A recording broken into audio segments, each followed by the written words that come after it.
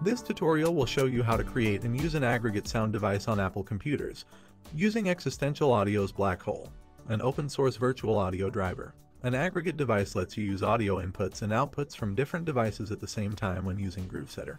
Using an aggregate device with virtual components will allow you to route audio directly into or out from your digital audio workstation of choice. In this tutorial, we will create an aggregate device by combining an external audio interface with a virtual audio device BlackHole. To begin, open the Audio MIDI setup, which lists all of your available audio devices. Click the Add button on the bottom left corner to create an aggregate device. Your new aggregate device will appear on the left side of the window. Click on the checkbox next to each device you would like to include. Keep in mind that the order in which the boxes are checked determines the order of the inputs and outputs in Groovesetter.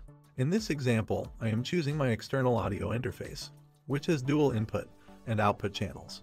Next, I am adding the virtual device BlackHole, which has an additional 16 virtual input and output channels. This gives me a total of 18 available input and output channels for my new aggregate device. Since my selected devices are not synchronized using hardware, I will need to enable drift correction also known as resampling, to compensate for drift in the data between devices.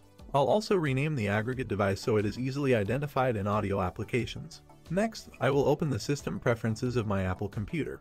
In the sound settings, I will select the new aggregate device as the default output device. I'll do the same for my default input device. My new aggregate device is now ready to use in Groovesetter sessions.